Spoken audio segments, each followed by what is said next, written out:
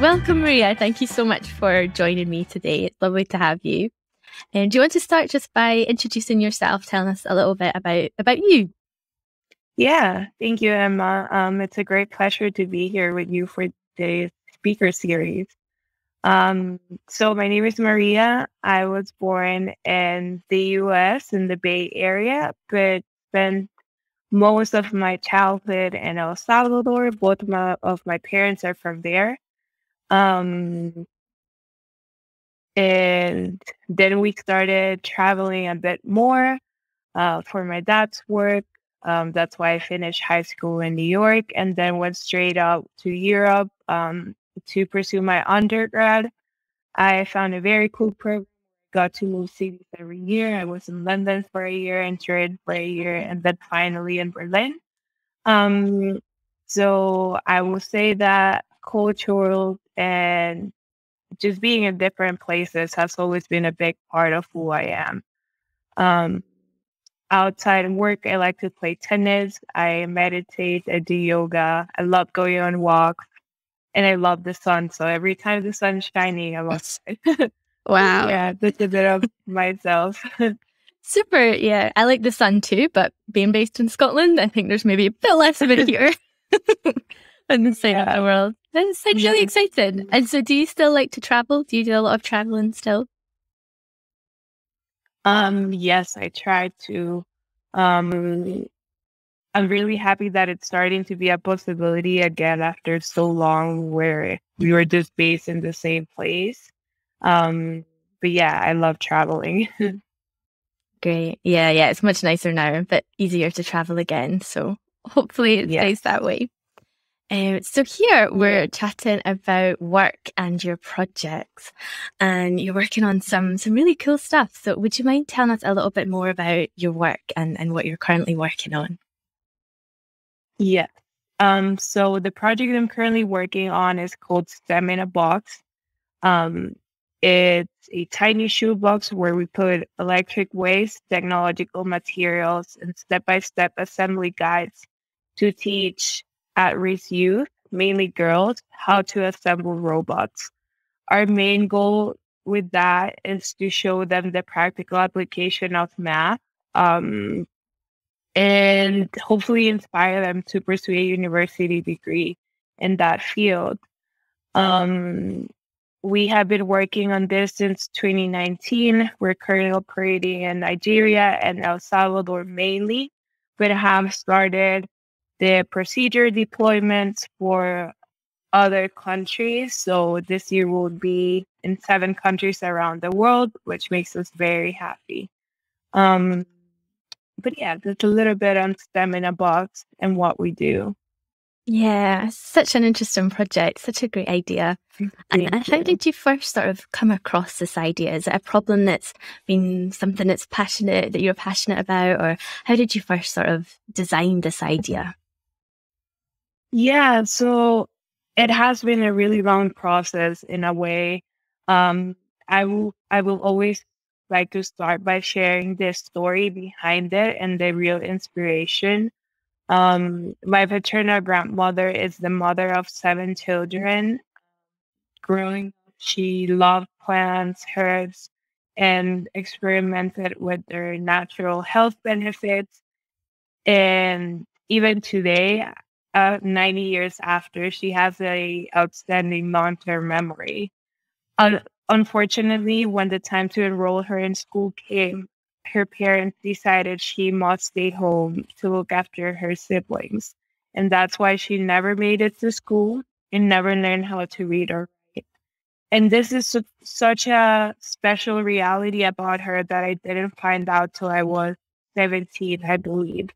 Mm. Um, and that's when I realized that my reality was very different to children's reality in El Salvador. And I started having conversations with her, with my father, trying to understand what it was that they did differently when raising me. And soon enough, we realized that it was education, that the only reason why I had a better life or better living condition than some of my cousins was because my dad understood very early on that the only way out of the village will be through education. Um, he became a pilot and a diplomat very proudly. And that's that's also again when I understood that connection and that I wanted to create an impact in the education space. The idea didn't come to life um, from one day to the other after having that realization. Uh, I will say it took about a year um, till we visited the Fiat Chrysler HQ in, in Italy. And they have a very similar thing where they take one of the assembly line robots to teach children from kindergarten throughout university about math, art, music, and in our case, it was logistics exercises. Um, so yeah, I'm a business major. I, I was majoring in finance, and that's when I saw that connection of what you could do with robotics. For a while, we we tried to bring one of the robots to El Salvador, but the budget was so high that I got disappointed very quickly because I knew what that amount of money could do at home, just in terms of infrastructure at schools. Um, until one day I was having lunch with my two best friends, and one of them just stopped me and she was like, Why don't you create your own robots? and yeah, a couple of years after, we have three do it yourself robots um, thanks to that conversation. Wow. Yeah, it's a really interesting journey into it and, and from finance as well. So, is this always something that you've wanted to do, being in the sort, of social impact space? Or do you feel like it's been a pivot in your career when you sort of had this, this initial idea? So, I wouldn't say it's something I always wanted to do. However, I always always had a connection with the space. Um, my maternal grandmother founded a university in El Salvador 40 years ago when we were just transitioning from the Civil War period. And my mother has worked there for about 30 years as well. So for a really long time, I thought that my mom took the easy road um, because sometimes working under your parents, people might assume it's easy. It's not. They're the toughest boss you'll ever have. um, but I saw it that way that she stayed so long in a place where she wasn't exploiting her p- potential and was just being complacent. So for a really long time, I didn't admit it to myself that education or the social impact space wasn't what I wanted to do. Um, when I was working in finance, I think I was trying to prove things to myself, to my parents, um, to my friends. But after the pandemic, I decided to join their team at the university and their financial analysis department. And very quickly, I realized that's not what I wanted to do. I transitioned to the digital transformation team and started working on their processes and automating them. And that's when I fell in love with the institution and um, the mission it stands for. And it wasn't only till this January where I took the courage to quit and focus on STEM in a Box entirely. So I would say that that question has also been a, a journey where I had to be patient and very compassionate towards myself. Yeah, yeah, uh, it's it's really interesting. Yeah, especially the, the compassionate side as well. I think it can be really easy to get stuck in trying to make decisions and thinking if you're making the right decisions and, and where to go. Um, and I, yeah, I think it, it does take that time. Um, so what does a typical day look like for you? I think it's it's quite early where you are, is that right? So are your days normally early starts? yes. So I usually start my day early. I'm more of a morning person. Um and on a perfect day, I get to meditate before I get out of bed or rather out of my room. Um I usually have some meetings in the morning because almost half of my team is based in Africa, so it's easier to do the meetings in the morning. Um, after that, I go to class. I'm currently doing a semester accelerator program in Boulder. Um, so I go to class for a few hours, then do some more meetings, and then in the afternoon is my time to do my work and fulfill my my responsibilities um, in the pro- project. Sometimes I do a lot of design work, um, creating the assembly guide. Um, I fell in love with doing the graphic design of that part as well. Um, and I would say that lately, most of my responsibilities are funding. And um, once we ensure we have the funds, there's a lot of logistics involved for us to deliver the tools. So those are the two hardest parts of our intervention: securing funding and then making sure we meet that promise. um, mm. and then after after work, um, sometimes I play tennis, go on a hike, and then just have have some dinner, read a book, go to bed, and that's it on a weekly day.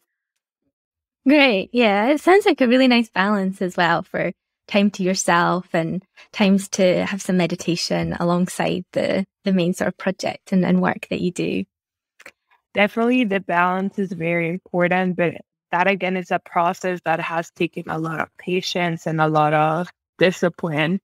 Um so yeah definitely about a try to be about. Yeah yeah always trying. Trying to aim to get a little bit better each day i think did you have any tips or advice for someone who is looking to either enter the social impact sector or maybe has an idea that they're looking to take forward? Any anything that you would have given advice to yourself, say a, a few years ago when you were starting out? Yes. So I will say it is finding community and the way you can do that is through the multiple international organizations that support youth led initiatives. Um, I think I'm going to focus on the community aspect of it. The work we do gets very lonely. Um, you can be working very hard for a project for a couple of months, and you're not going to see where your hard work went to to till two months after. Sometimes that moment happens once a month. Sometimes, if you're lucky, every two weeks. So it's a really long process where you don't always see results in the in the short run and that is where your community comes in you need people that are your your age that have similar um, passions and missions to be around you and to help you through the hard days when you need it. Um, when I started working, for example, that sense of community was Global Change Makers. It's a Swiss based organization.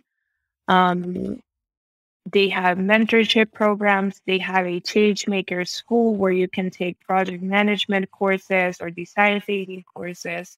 And what was really cool for me was that that they really walked me through each step of design thinking from empathy to ideation. And I had a mentor along the way that could help me through that.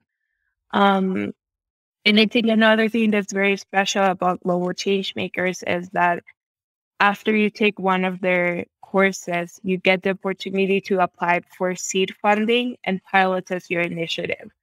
Um, so yeah, that would be my advice. Look for community and look for the programs that walk you through that step by step process of design thinking. Mm-hmm. Yeah, that's great advice. Yeah, and we can share the links to to global change makers and some of yeah. the other communities, so anyone listening can can find them and and gain what what you've gained from that. I think definitely having a mentor and someone just to chat the idea through with and, and stage it all sounds sounds really helpful. Um, so yeah. final question um, for you today is around working in sustainability in general. And a lot of the people I talk to, and I would say personally as well, can find it difficult to separate yourself from your work. And, and as we've sort of talked about before, have that time for your own activities and for yourself. So do you find that your work is a big part of who you are? And do you have ways in which you separate yourself from it? I suppose part of it is your meditation and, and your hiking and, and tennis as well. Any any thoughts on that? Yeah. So of course that separation is important for our own health and um, well-being. And you get a lot of advice on trying to separate the two. But as weeks have passed since our first conversation, I have seen how it's not necessary to separate it. Um, I had a lot of conflict with it as well because I thought that people put me in two boxes either the Maria that's fun, um, that works in finance, that likes to party, or the Maria that is an activist and is very respected for for her social impact work.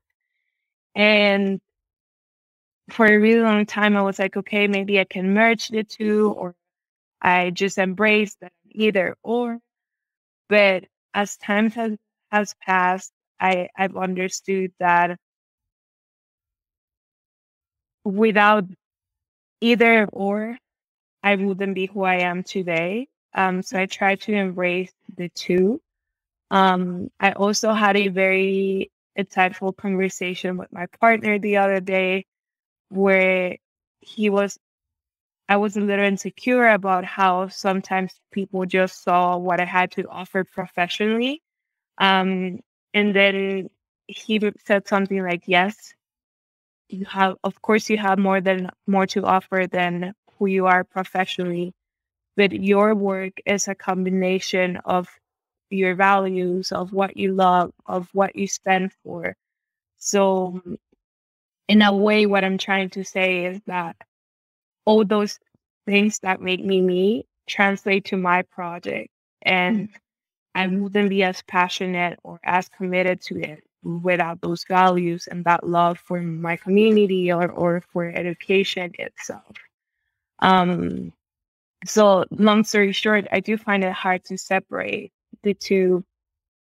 But what I've seen lately is that there's even there's more more to gain when you embrace and try to bring them together. Yeah. Huh. That's a really nice answer. Yeah. Can definitely take something from that for myself. Thank you for that. Um, and I suppose a final, final question is around STEM Box and where do you, where would you like to see the project going in the future, maybe in three or, or five years time? Yeah, that's a very good question. So right now my brain is in a lot of places because after the pilot test that we just ran, it came evident that it will be a bit hard to scale the tools as we have it now. There's a lot of manual labor involved, um, and especially the way we power them, it's not the most sustainable one. Um, so I will say that in a year time, I'm gonna focus on developing that prototype and transitioning from an MVP to a go-to-market product. Um, but speaking of a long-term vision, I would love to work with bigger international organizations like UNICEF or UNHCR and have them overtake the implementation of this. And the government as well, I think, will play a very big role in um, ensuring that something like this is present in public and private. So I would say that my biggest dream in that period of time will be building those partnerships with governments and international organizations to scale this project. Yeah, great. Yeah. No, that sounds that sounds super, and the best of luck. I think it's such an interesting project, and um, it was really great to chat thank to you. you. and learn a bit more about you and your project today. So thank you so much for coming and, and chatting with me. Yes, my absolute pleasure. I cannot wait to see the final result of this project of yours. So, best of luck as well.